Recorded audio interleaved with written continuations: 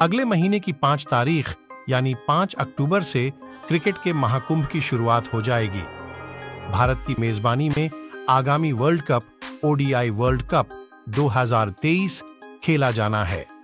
इस ICC tournament में team India की कप्तानी, ढाकड़ ओपनर रोहित शर्मा के पास होगी। भारत का पहला मैच 8 अक्टूबर को चेन्नई में ऑस्ट्रेलिया के खिलाफ होगा। इस बीच एक बड़ी खबर सामने आई है। वर्ल्ड कप के बाद एक खिलाड़ी संन्यास का ऐलान कर सकता है।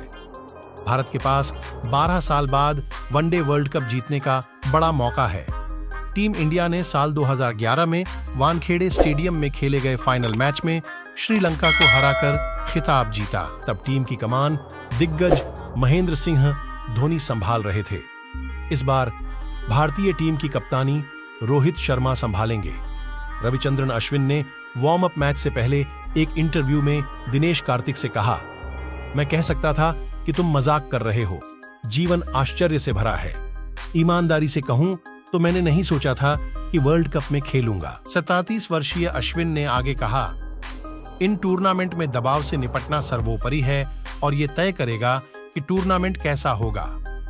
एक अच्छी जगह पर रहना, इस टूर्नामेंट का आनंद लेना मुझे अच्छी स्थिति में रखेगा। ये भारत के लिए मेरा आखिरी विश्व कप हो सकता है, इसलिए टूर्नामेंट का आनंद लेना बहुत ज़्यादा महत्वपूर्ण है।